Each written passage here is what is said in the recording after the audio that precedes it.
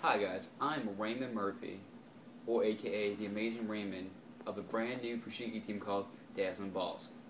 Now, Dazzling Balls, I know it seems kind of like an iffy name, but my mom stuck it with us because we have jackets. She sewed it. Mind. Anyways, Fushigi is one of the most important things you would ever do in your entire life, besides going to church, having a baby, and well, making babies, which is sex, where the man. Sick, never mind. Anyways, Fushigi is extremely important. Now, you must have extreme hand-eye coordination, which means that these things are your fucking bread and butter. You know what I'm saying? They're not steak and knives.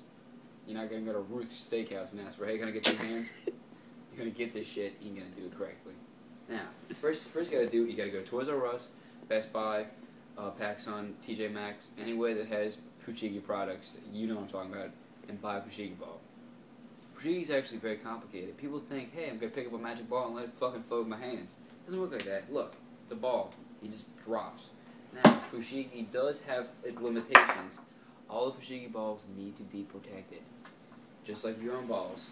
Don't bang them against shit because they will break. They're not plastic. Well, they are, but not kind of plastic.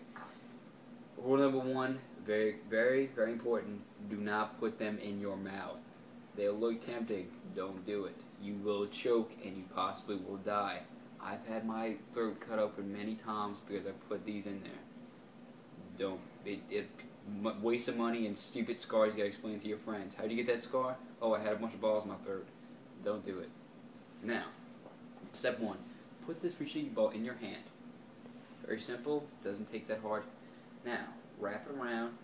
This is called the spindle. Spindle Boo. Call that Spindle Blue. You may drop it a couple times. It's okay. Look, it picked it up like a champ. Picked it up like a champ. Okay. Put it there. It is called the ice cream cone. Don't put it in your mouth. I messed up here. Don't put it in your mouth. Okay?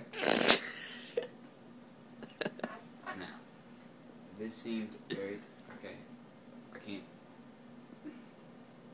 Don't put it in your mouth. Focus. Okay. This one actually has. Okay, I fucking lost it. I